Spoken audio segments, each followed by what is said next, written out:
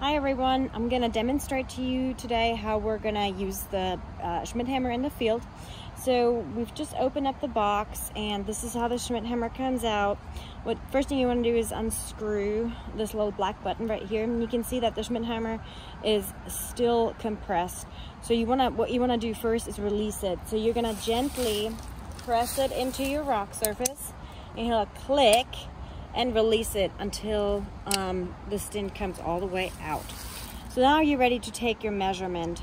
So what you want to do is you want to orient your Schmidt hammer perpendicular to the surface where you take your measurement. And then you keep pushing in to the surface perpendicular to it and do it nice and tight until you can feel a measurement being taken.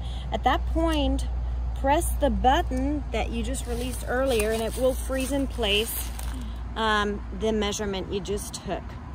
That also is the way that you will lock the Schmidt hammer again for traveling. Do not leave the Schmidt hammer all the way fully extended. Thank you for watching.